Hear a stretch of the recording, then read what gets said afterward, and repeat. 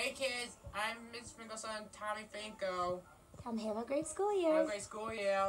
Is that better? That's great. All right, boys and girls. Now we're going to go and meet Naomi and Mr. Finkel.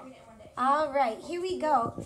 Boys and girls, this is Naomi. She's my daughter also. Naomi, what would you like to say to the kids? Hi. Hi. And Naomi, are you working hard in school this year? Yeah. Oh my goodness, boys and girls, look at all those ABCs on that paper. Naomi's been doing homework already. Can you believe how hard she's working? Do you have any advice for the boys and girls about doing a great job in school, Naomi? Good luck. Good luck. Okay, she knows you're going to need it, doesn't she? All right, and look who else I have here, boys and girls. This is Mr. Finkel. Hi, Mr. Finkel. Hi, how you guys doing?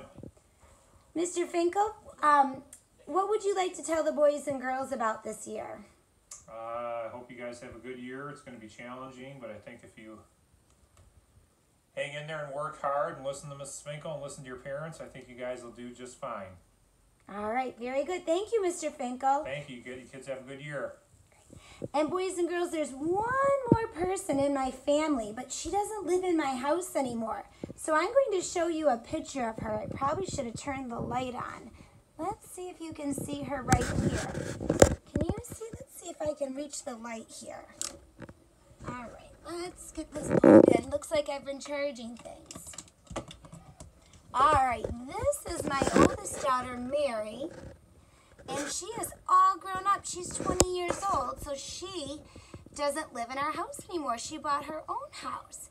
So, boys and girls, let's count how many kids are in Mrs. Finkel's family. Are you ready? One, Mary.